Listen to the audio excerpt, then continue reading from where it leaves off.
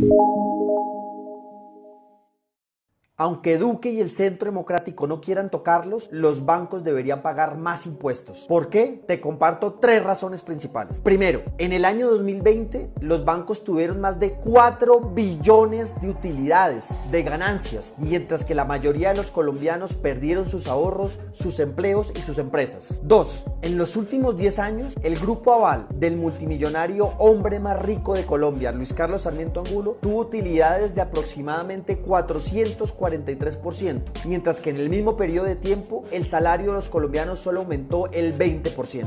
3. El sistema financiero tiene descuentos tributarios que ningún otro sector de la economía tiene. Según la propia Contraloría, hasta el 2020 el sector financiero había dejado de pagar 56 billones de pesos por tantos descuentos, gabelas y regalos tributarios. Es decir, impuestos que dejaron de pagar gracias a que los mismos políticos de siempre les concedieron esos favores en las pasadas reformas tributarias. Repito, 56 billones de pesos, más del doble de lo que se pretende recaudar en la reforma tributaria actual. ¿Qué proponemos? Una verdadera justicia tributaria, que a los bancos se les incremente una sobretasa del 6% de impuestos durante los próximos 5 años que dura la reactivación económica. Y que por supuesto se eliminen todos esos descuentos tributarios que les han regalado de forma injustificada. No más privilegios para los banqueros a costa del bolsillo de la gente. Te invito a compartir este video para que miles de colombianos se enteren de lo que está ocurriendo en la discusión de la reforma tributaria. Y también a que nos acompañes a presionar a los congresistas en las redes sociales para que no voten a favor de esta nefasta reforma tributaria del Centro Democrático.